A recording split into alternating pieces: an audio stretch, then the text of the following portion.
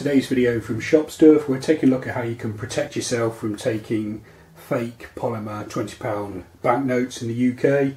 Um, so obviously the polymer notes have been out for about a year now, so they were released in February 2020, um, so we're all quite familiar with them. I haven't seen many fakes, um, but they've now started to filter through. Obviously the biggest problem to start with that the fraudsters had was printing it on a similar type of paper. Uh, but we've now started seeing some fakes filter through. I've yet to see any really good ones. Um, in this video, I'm going to show you a fake one and how to um, how to tell it's a fake.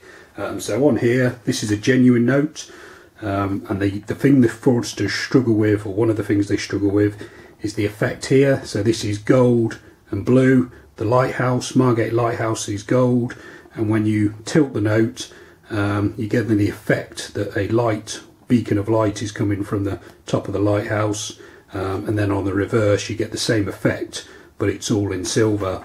Uh, this is a fake note I've been handed. Um, that's just about gold but very faint. Um, when you twizzle the note there's no brightness or no effect that you got on the genuine note and then on the reverse the lighthouse is still gold um, and the gallery is definitely not um, silver. Um, there's the Queen's portrait here. Is you can just about make it out, but it's it's very faint, and obviously on the genuine note, it's much clearer and easier to see.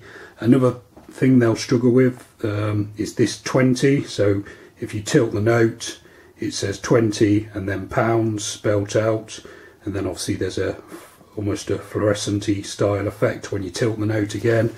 On here, this fake note it just says 20 and then there's no real effect when you tilt the note around. Um, they've also failed here, so this this obviously isn't genuine. It should be the coronation crown icon. Again, it's the hologram effect that they're they're missing out on. And then on the reverse as well, even under natural light, there's a reaction. Whereas on the fake note, it's just totally dull. Um, then on this window down here, actually, you can see even when you've got them there they look different. If I place the genuine note on top and line them up you can see um, the fake one is the wrong size so it's slightly too wide. And then also this probably won't come out in the video but on the back on the genuine note there's effects you can see 20 20 20 written out on the Tintern Abbey window whereas on here there's absolutely nothing and there's no detail um, on the note. So all these things you'll notice I've been, I've been able to pick up just by looking at the note uh, without any need for any counterfeit note detectors. Um, another way of telling actually without any technology is just the overall quality of the note. So I appreciate if you're just holding this note by, by itself, you may not spot it, but you just put the two notes together and you can see this one's blurry. There's, whereas all the details on, on this note are really defined. So the background pictures, they're all really sharp. And on the reverse, it's exactly the same. In fact, the reverse is pretty terrible on here. So the genuine one is yellow, whereas this is like a purpley red. It's blurry over here. I guess they've deliberately damaged the note to try and say it's been through a washing machine, so that's why it um, doesn't look right. Um, and, and in fact, on the this detail here where the serial number is, although they've got the serial number in the correct format, it just doesn't, the detailing round, if we look at the genuine note, there's, there's detail. Again, it might not come through on the video, whereas on this one it just hasn't got, although there's the mark behind it, it's not the same, not the same level of detail.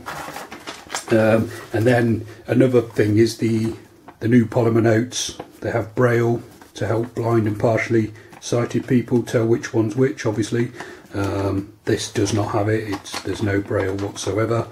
Um, and also the note feels raised at certain points of the writing. So along the Bank of England here, that's raised, and the pounds here he's raised, says the 20 actually. And on this note, so you can't tell, but it's helpful for you to, to check. Um, so they're all things that you can check on the note without any technology. However, we would recommend you have some type of UV detector. You don't have to spend a lot of money, um, but just something that'll pick up on the hologram. Because another thing they, they can't really do is um, there's the 20 hologram on the note there, and that should be the case on all the polymer notes. So 10 there, and then on the 5 has got it on as well. So this is just a cheap pen, and that's even picking it up. On this note, nothing, absolutely nothing. And also you have a desktop detector, and you can see straight away that's picking up the 20 there. Nice and bright, nice and clear and then absolutely nothing on there.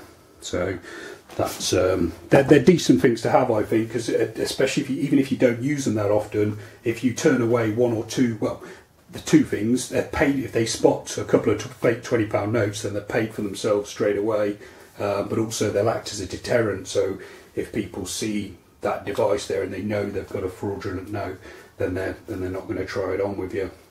Okay, I hope that video has been helpful. Uh, just a guide on how to spot fake polymer notes. Um, we've got plenty of other videos including um, details on the new £50 polymer, uh, which you're welcome to check out. You can also subscribe to this YouTube channel or visit shopstuff.co.uk for more. Thanks for watching.